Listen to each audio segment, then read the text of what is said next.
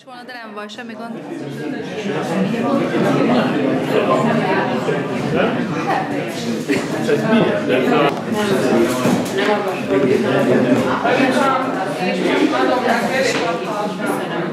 Megkülönböztetett tisztelettel köszöntöm körünkben Zolcer János újságírót, forgatókönyvírót, rendezőt és nemzetközi tévéproducert. Végignézem a hallgatóságot, akkor tisztelet a egy-két kivételnek.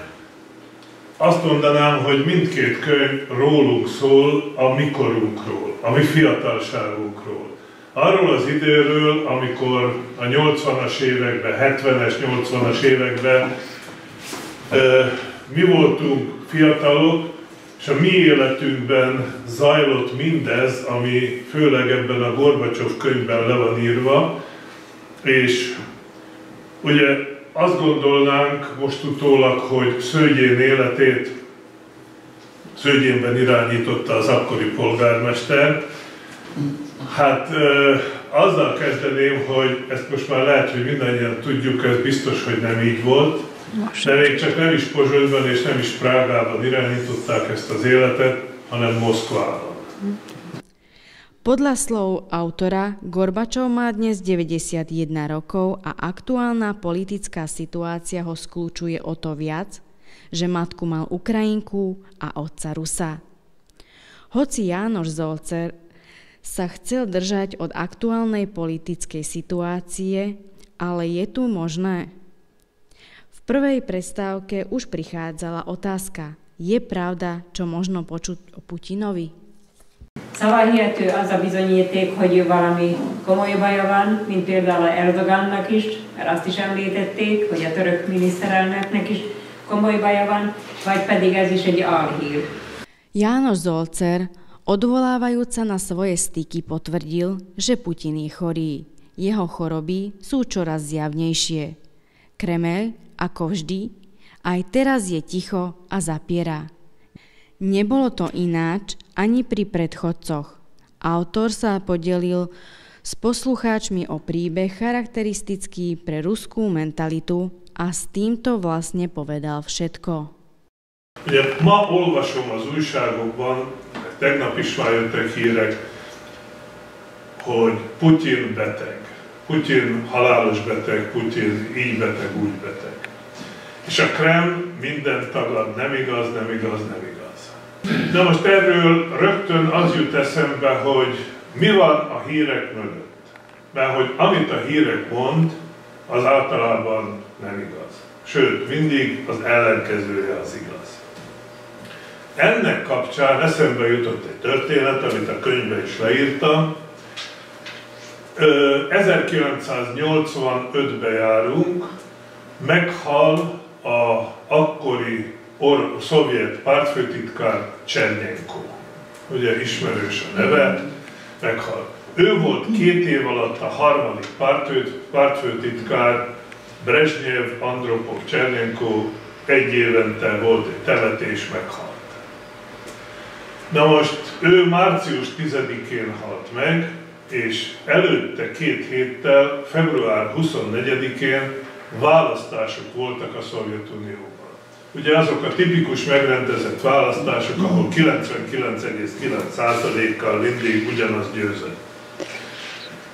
Csernyenko gyakorlatilag az egyéves uralkodása alatt folyamatosan beteg volt, 74 éves volt, többet nyomta az ágyat és többet volt eszméletlen, mint amennyit hivatalban volt.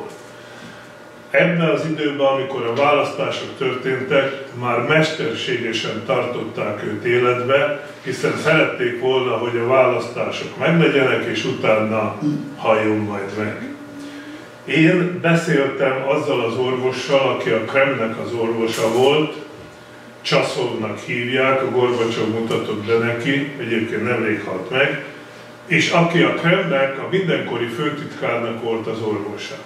Most ennek az orvosnak kiadták parancsba 1985. február 24-én, hogy inekciózza be úgy a főtitkárt, öltöztesse öltönybe és inekciózza be, aki mondom halálos betegként feküdt, hogy készülhessen róla egy fotó, hogy az urnába bedobja a szavazatát.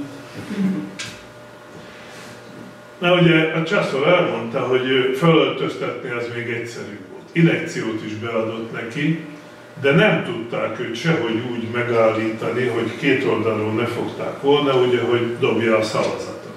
Viszont a parancs parancs, ezt teljesíteni kellett, és az egyik ilyen propagandistának eszébe jutott, hogy akkor valami bottal, ez egy ruhaakasztó volt, hátulra valaki így bújjon el a háta mögé, és tartsa a kabát galléránál őt egyenesen, arra a három másodperce még elkészül a fotó.